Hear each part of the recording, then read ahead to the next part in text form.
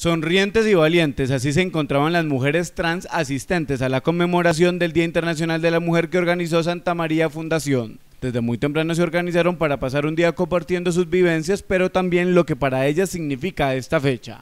La primera en hablar fue Yuri Paulina Chavarro, quien expresó que la sociedad debe respetar su decisión de ser mujer. Porque nosotras somos mujeres y hacemos parte de una sociedad, somos mujeres luchadoras, emprendedoras y tenemos mucho que aportar a una sociedad como esta. Luego de la intervención de Yuri, estas mujeres realizaron un taller en el que debían dibujar el antes y el después de pasar por Santa María Fundación.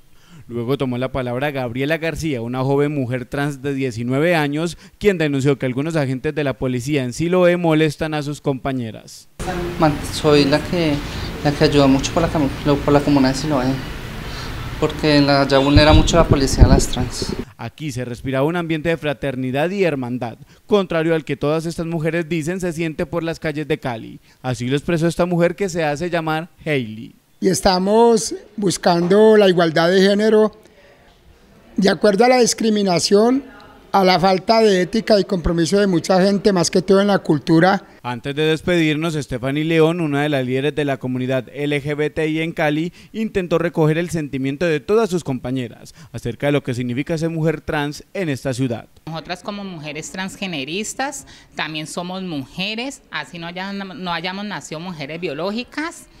Y me gustaría que nosotras nos tuvieran en cuenta los derechos más que todo en el área de la salud, eh, que tengamos derecho a un tratamiento hormonal, que tengamos derecho a tener visita con el endocrinólogo. Al final de la jornada, estas mujeres expresaron su alegría por compartir un espacio en donde sienten que pueden actuar con libertad y fortalecer sus lazos de fraternidad en pro de la defensa de sus derechos.